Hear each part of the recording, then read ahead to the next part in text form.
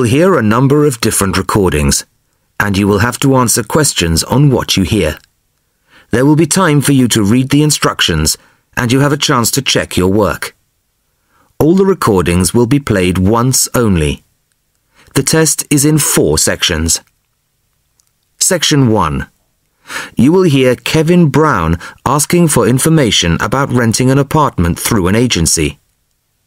First, you have some time to look at questions 1 to 5.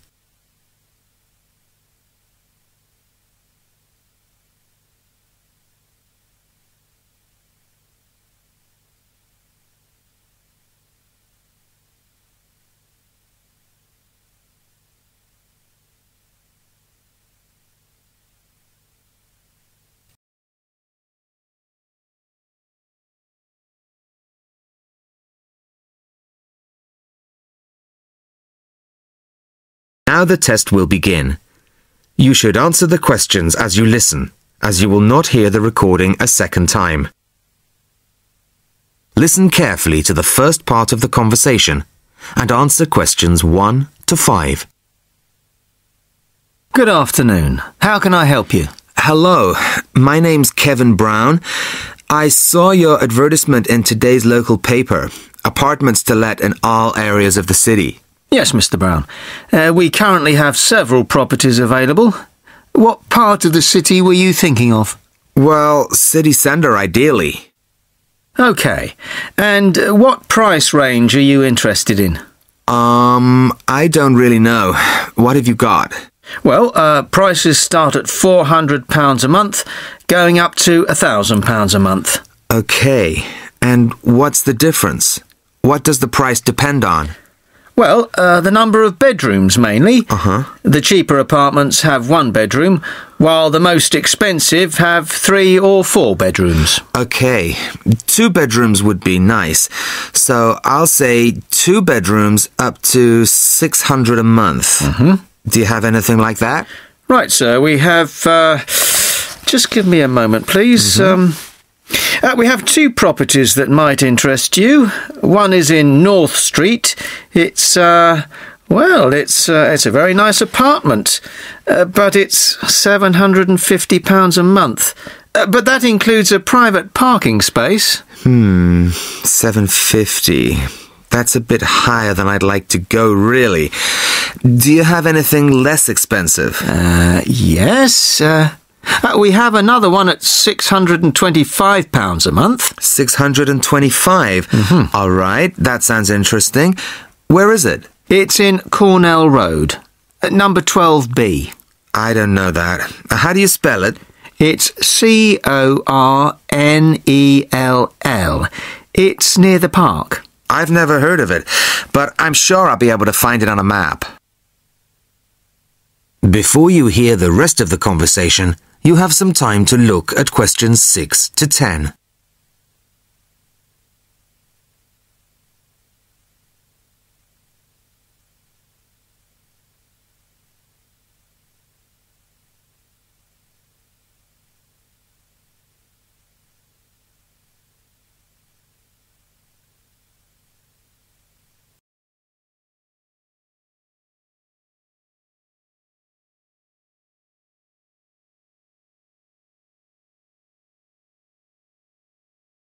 Now listen and answer questions 6 to 10.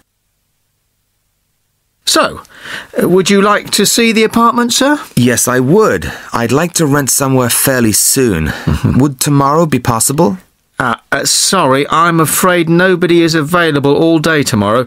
It's quite a busy time of year for us. I see. But if you're free later today, uh, you could see it at 5.15. Sure, no problem. I could manage that. OK. So that'll be uh, 5.15 with my colleague Jason. He'll meet you at the apartment. That's fine. And one more thing. What do I need to provide to rent an apartment with you? What documents, that kind of thing? Yes, of course. Um, uh, do you have a job? Yes, I work in a travel agency. Well, uh, a reference letter from your employer, you know, saying you work for them, and a deposit, which is one month's rent plus a fee of £60.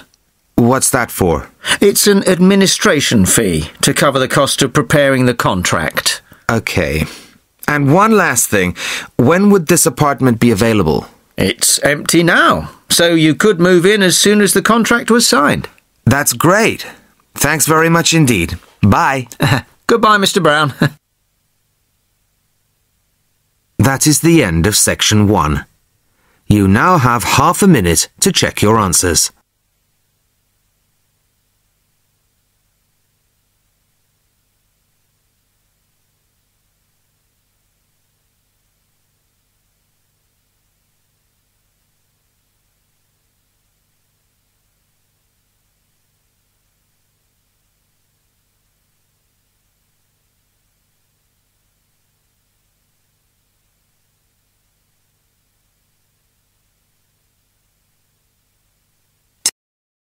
Test 2, Section 2. You will hear a member of the local council describing plans to redevelop part of the seafront of a coastal town. First, you have some time to look at questions 11 to 15.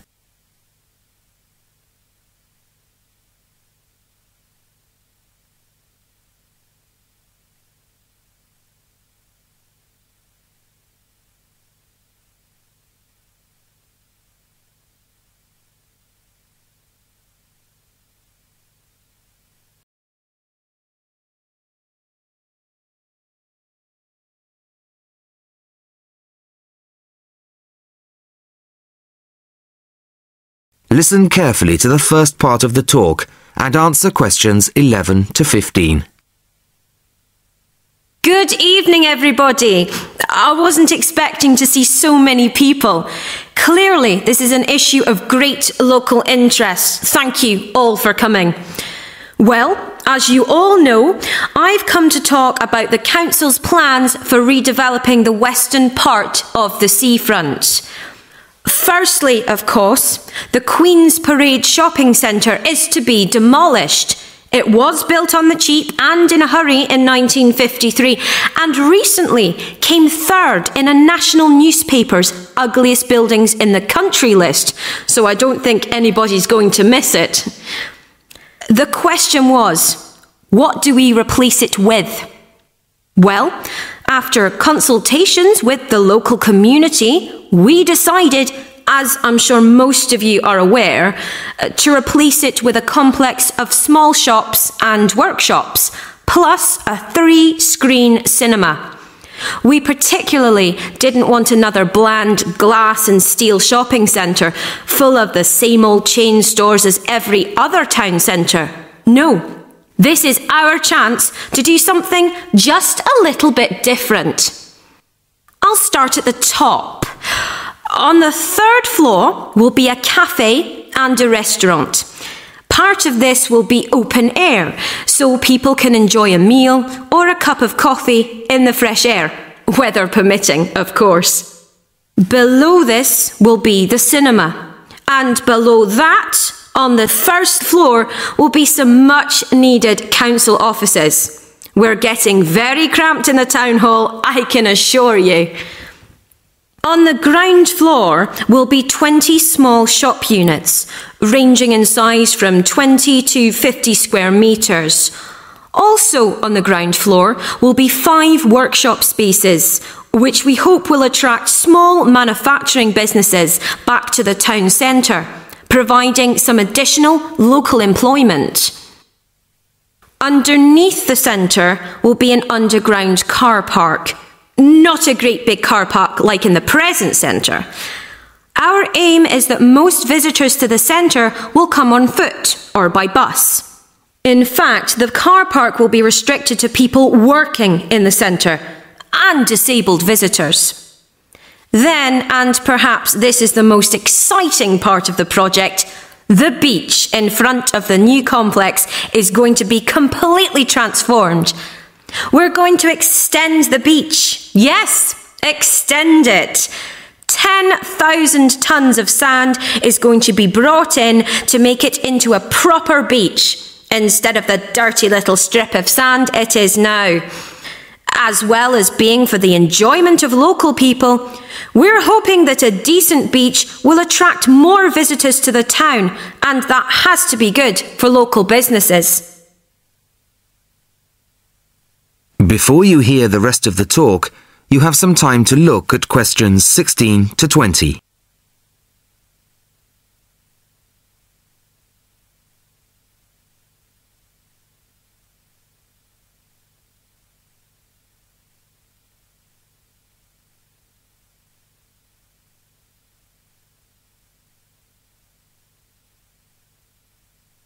Now listen and answer questions 16 to 20.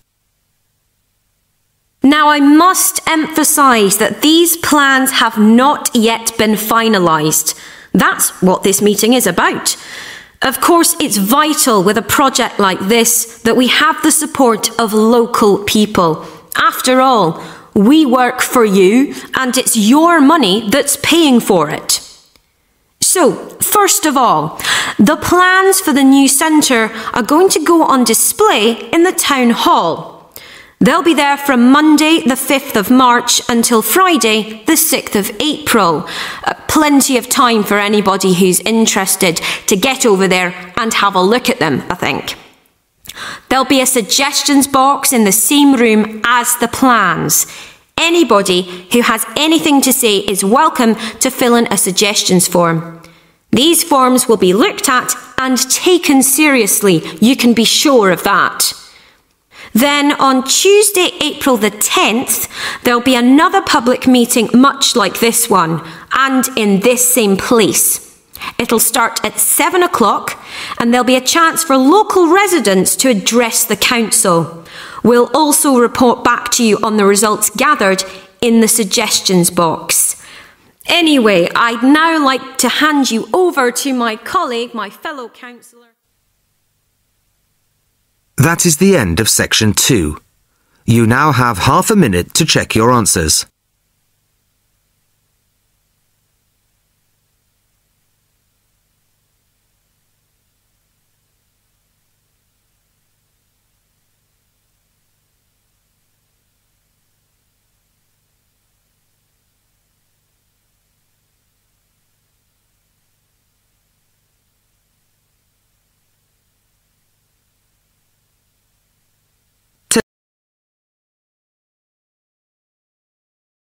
Now turn to section 3.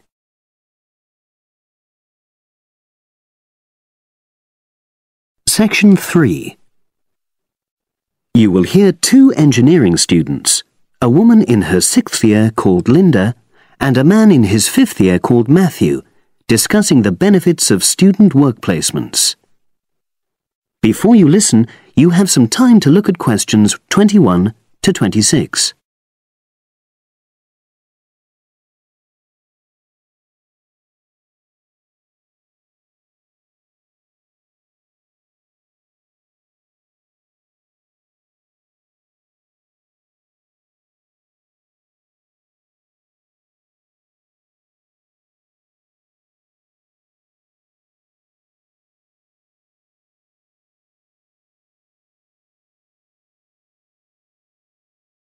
Now listen and answer questions 21 to 26. Hi, Linda. Can you spare a few minutes? Hello, Matthew. No problem. I just wanted to talk to you about temporary work placements. I've never really thought there was a good reason for doing one. I've got some savings, so I don't really need the money at the moment. But I've had an email from the university about a vacancy that looks quite interesting. You did a placement last year, didn't you? I did, yes. In my case, I wanted to find out if I was making the right career choice before I began applying for permanent jobs. I thought I wanted to work in car manufacturing, but I wasn't sure, so I applied to Toyota. What was the application process like? Lengthy. There were a lot of different parts to it. The dullest one was a psychometric test. You know, when you have to answer loads of questions about yourself. And you're trying to guess what's the best thing to say. yes. Then there was an activity that we did in groups, which I found really fascinating. Engineers are renowned for being a bit unsociable, but I thought we made a great team. And we had an individual task too. We had to sort through various business documents and prioritize them. It was just like what you have to do as a student, really, just with different content. What exactly were you doing on the placement? I was helping to design some diagnostic software to identify any waste in the car assembly process. Do you mean waste of materials? No, time. Anything that can speed the process up helps to cut costs. How did the work placement compare to being a student? Was it hard work? Yes, it was. I'd had full time work before. I've done various unskilled jobs during university holidays, and some of those involve long hours. So I thought I'd find it easy. I was wrong, though. I think when you're on placement, you're always trying to prove yourself. So you push yourself hard to succeed? Yes. But I got a lot of support from my employers. They were always helpful. And then, at the end of the placement, I was given formal feedback. Do you mean on your engineering ability? Well, no. I didn't really need that because we had team meetings every other day and so I had the chance to discuss technical issues and ask about anything that wasn't clear. The evaluation was about general workplace things, like organizational ability, initiative, that sort of thing. I get the impression you think you benefited from the placement. Well, the best thing is that they've offered me a job for next year. Depending on my exam results, of course, but still. A permanent one? Yes. But apart from that, I learned so much. The industrial environment was much more demanding than the academic one, so my general skills improved, like time management, meeting deadlines. And on the technical side, I learn new software packages, like MS Project. Well, I think you've convinced me that work placements are worthwhile, but while you're here, can you give me advice on something else? Before you hear the rest of the conversation, you have some time to look at questions 27 to 30.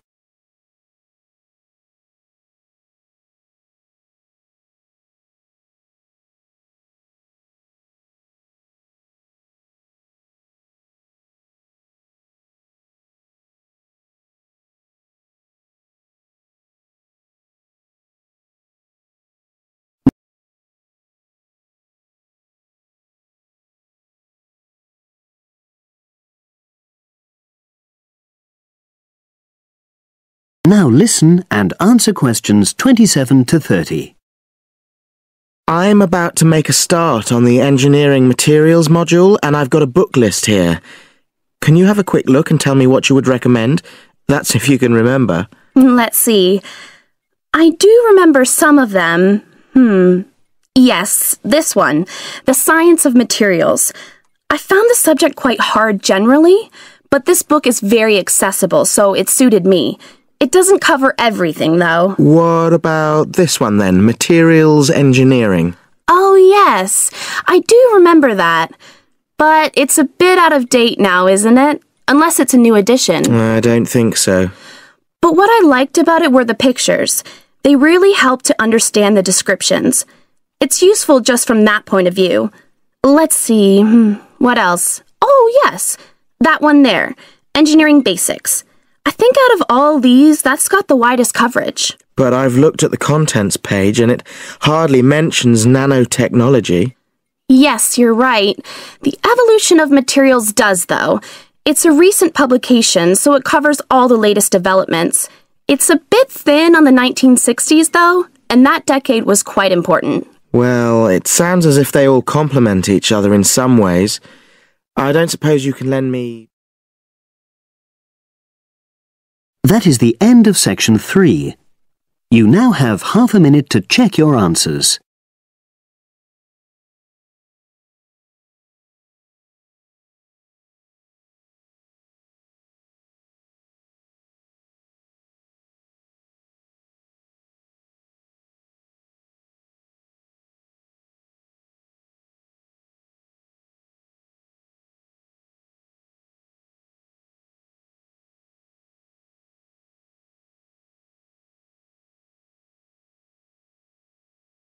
Turn to section 4.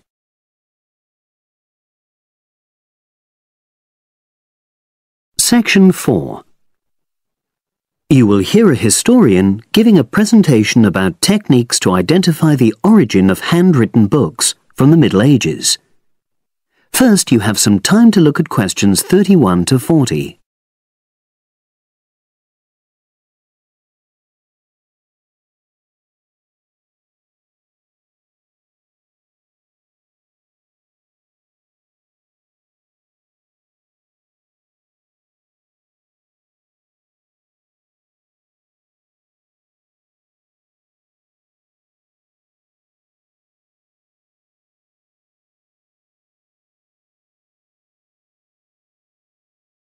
Now listen and answer questions 31 to 40. My presentation today is on how the science of genetics is being used to shed light on the origin of manuscripts, anything written by hand, produced in the medieval period, that is, the period between the 5th and 15th centuries AD. As many of you know, thousands of medieval handwritten books still exist today. Some of them have a clear provenance. That is, we know exactly where and when they were written. But the origin of many manuscripts has been a complete mystery. That is, until 2009, when geneticists started using DNA testing to shed light on their origins. But before looking at the new research, I need to explain something about the way the manuscripts were produced, particularly what they were written on. Virtually all were written on treated animal skins, and there were essentially two types. The first was parchment, which is made of sheepskin. It has the quality of being very white, but also being thin. It has a naturally greasy surface, which meant it was hard to erase writing from it. This made it much sought after for court documents in medieval times. The second type is vellum, which is calfskin. This was most often used for any very high status documents because it provided the best writing surface, so scribes could achieve lettering of high quality. So, once the animal hides had been chosen, they had to be prepared. Where the right materials were on hand, the skins were put into large barrels or vats of lime, where they were agitated or stirred frequently. But if lime wasn't available, then the hides were buried both these techniques were designed to cause the hair to slough off and the skins to become gelatinous and therefore more flexible. The next stage was to put the hides on stretcher frames and pull them very tight. While on the frame, they were scraped with a moon shaped knife in order to create a uniform thickness. For parchment, that was the end of the process. But for vellum, there was an additional stage where it was bleached in order to achieve the desired color.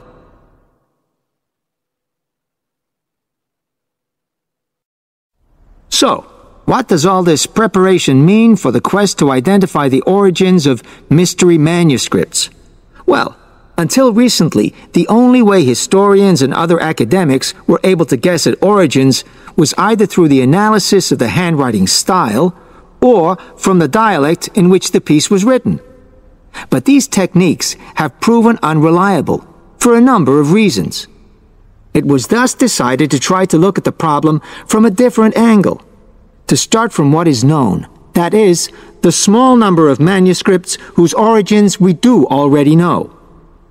Because these parchments and vellum are both made from animal hides, it was possible to subject them to DNA testing and to identify the genetic markers for the date and location of production. From this was created what is known as a baseline.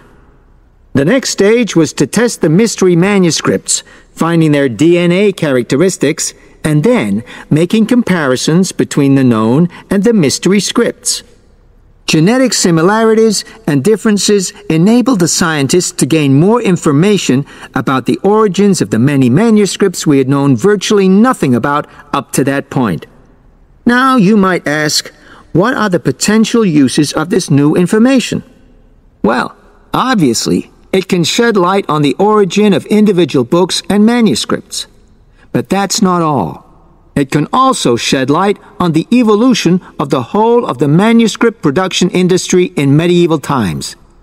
And because that was such a thriving business, involving very large-scale movements right across the globe.